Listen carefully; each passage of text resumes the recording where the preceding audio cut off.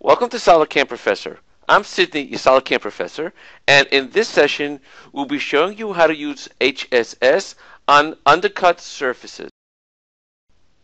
If we take a look at this part, especially at this hole here for a moment, and I'll cut it away so you can actually see what it looks like inside. You can see at the bottom of the hole, we have an undercut surface that we have to machine, and the only way that can be done is by using HSS. There is no other tool that we can use for doing this type of a surface. Let's take a look at the operation that we've done over here. We'll go into the operation itself and you'll see that we've used HSS perpendicular to the curve. In other words, moving up and down on the curve itself.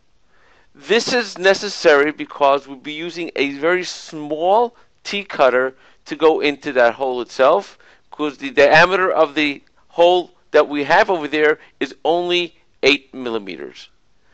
The drive surface will be this surface that's underneath over here and the curve itself will be this edge that's on the top of that surface. The tool that we'll be using will be a 7 millimeter slot mill with a full radius on the cutting edge itself.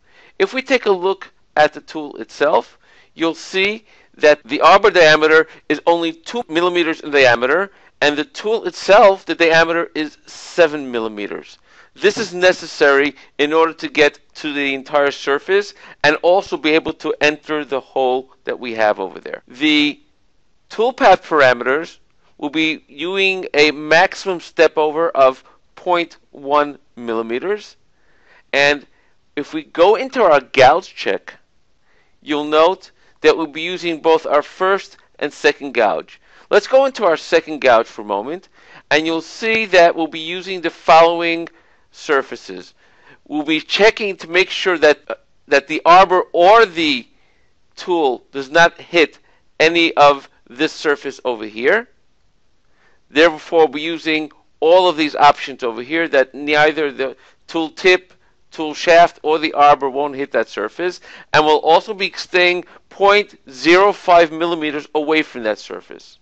We'll be leaving out our gouging points without trimming the tool path, allowing for our tool to go exactly through the hole without hitting the edge itself.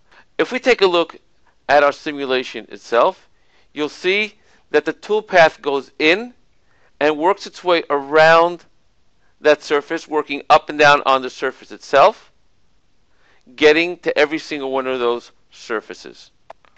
Now, if we take a look at our simulation using the Solid Verify, and let me zoom into this area, you'll see that the tool goes in and works exactly inside that hole, underneath, without having the arbor hit that hole. That's because of our gouge check. You'll see our tool works up and down, working around that entire hole, getting to every single one of those, to every single part on that surface itself. And then when it finishes, it'll go straight out of that hole without any difficulties and without worrying about hitting that hole itself with the tool. Thank you for joining us on SolidCAM Professor. Take care and have a nice day.